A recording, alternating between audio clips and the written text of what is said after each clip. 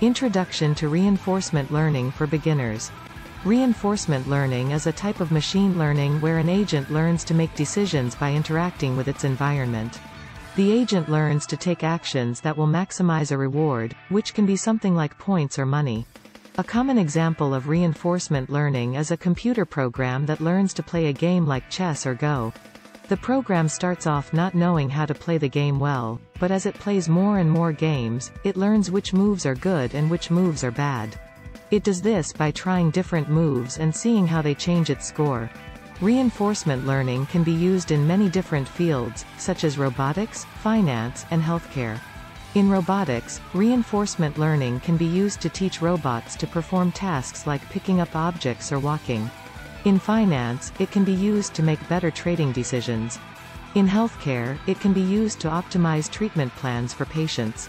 Steps to implement reinforcement learning. Define the environment. The first step is to define the problem and the environment in which the agent will operate. Define the agent. Next, we define the agent and its capabilities.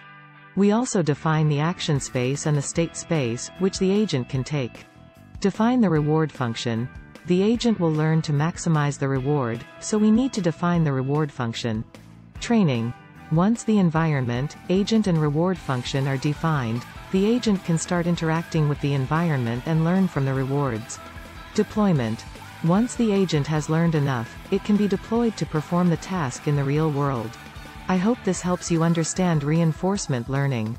Let me know if you have any more questions.